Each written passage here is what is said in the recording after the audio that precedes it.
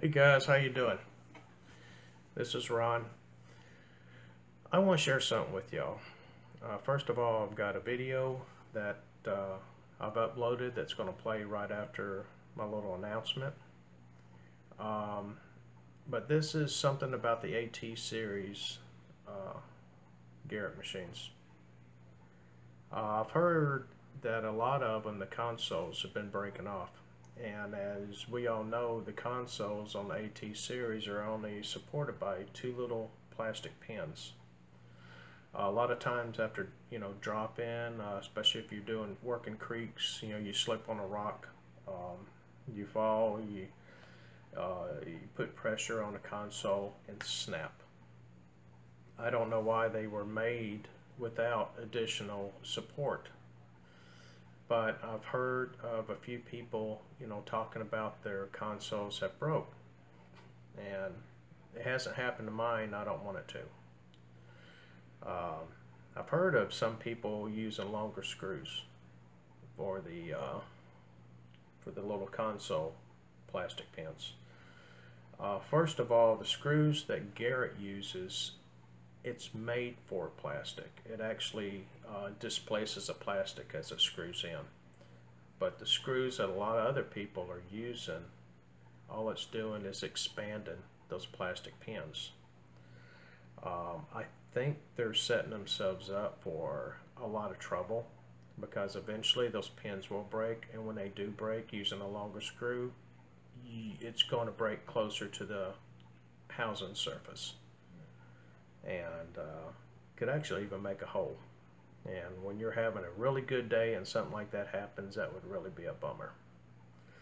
But anyway, I found this uh, company. It's called uh, Shapeway, and online, and um, they actually, with the use of a 3D printer, it makes a uh, support that will mount over the bar and it's, it uses the same four screws that's in the speaker plate and all you do is mount this over the bar and use the same screws and firmly put it on and the housing is much more secure than it was before. Uh, there is a special way of uh, putting a, uh, this mount on. Um, as I've read, uh, there's a word called Phoenix that's on that's printed on top of the um, top of the support. Uh, I have heard that due to uh, hole displacement um, on the mount working in conjunction with the uh, screw holes on the machines that the uh, P in Phoenix does direct towards the coil not towards the uh, hand grip so I'm sure to say it in the uh, instructions. But I like my AT Pro. I want to take care of it. And I'm sure a lot of you out there has got the AT series and you want to do it too. Um, originally, they had this set up for the AT Pro and AT Gold. But as I got looking, the AT Max, I'm sure, is built the same way.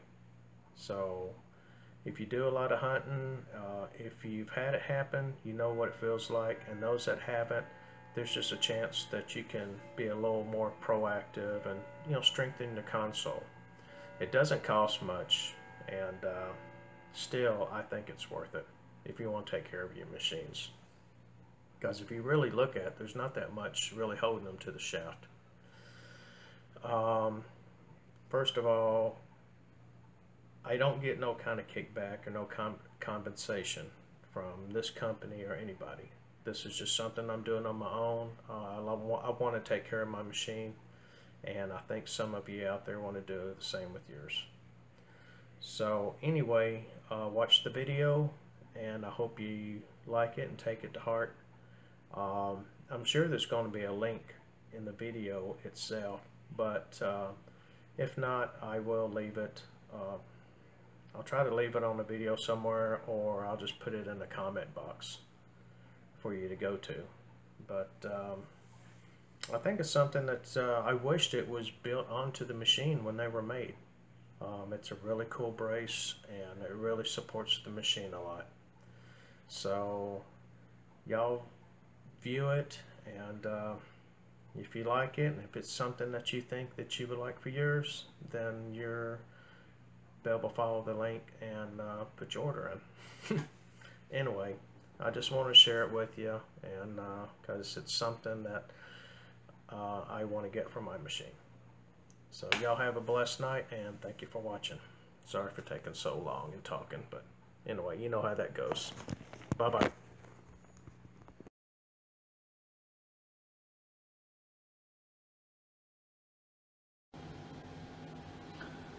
Okay, step one to fitting the AT Pro mount is just remove the existing speaker screws.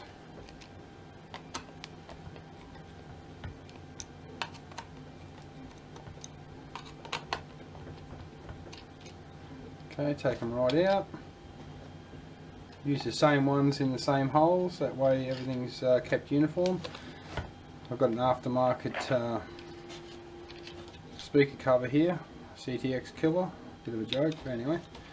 Okay, so put your mount over there. There is only one way it goes on. Uh, this is due to the offset holes on the AT Pro control box itself.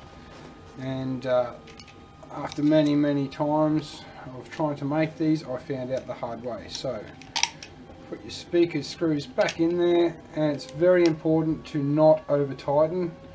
Just do each like you do a wheel nut do the opposite corners, get them snug, and then just tighten them up just a little bit extra. There you go. You saved yourself hundreds of dollars in uh, repairs for your control box when the uh, usual breaking off the control box happens. Okay.